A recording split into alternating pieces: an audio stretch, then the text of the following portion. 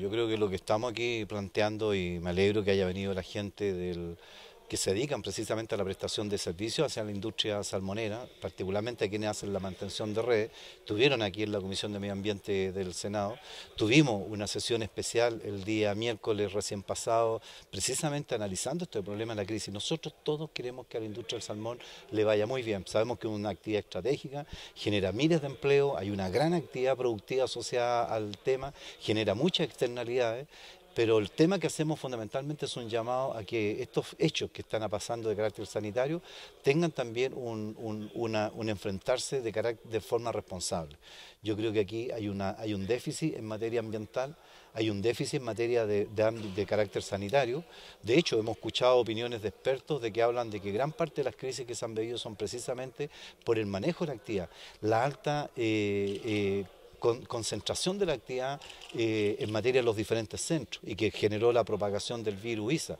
Hoy día este tema, que si bien es cierto, tiene que ver con la proliferación de las algas y que impide la oxigenación de las aguas y por lo tanto termina por afectar a los peces que están en, estos, en estos centros, eh, señalan algunos que también es consecuencia asociada a los altos niveles de, de externalidades negativas que genera la actividad. Yo creo que aquí la actividad salmonera que queremos insistir, queremos que le vaya muy bien como actividad, tiene que necesariamente tener una corresponsabilidad nueva, distinta, una visión diferente, una en relación al desarrollo de la actividad y su relación con las comunidades.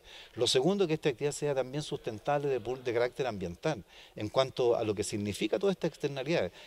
una red de un centro de cultivo recién eh, procesada, limpia, pesa alrededor de mil kilos esta misma red, cuando se saca, a los meses después de estar eh, bajo el mar, pesa 8 o 9 toneladas. Estamos hablando de 8.000 kilos de adherencia, que es fruto fundamentalmente de una situación del mal manejo y que tiene efectos sanitarios sobre la producción también. Por eso nosotros insistimos en que aquí tenemos que hacer un cambio sustantivo.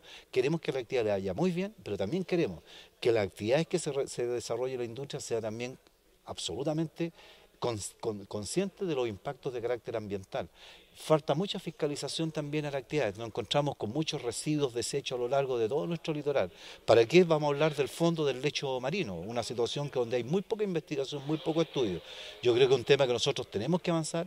Queremos que la actividad sea sustentable, que también sea sostenible, que tenga impacto en el desarrollo de nuestras comunidades y fundamentalmente no vernos enfrentados con estos temas de carácter eh, ambiental, porque creemos que ahí también hay corresponsabilidad de las propias empresas para mejorar los estándares con el cual hoy día están desarrollando la actividad en nuestro país y obviamente también en nuestra región.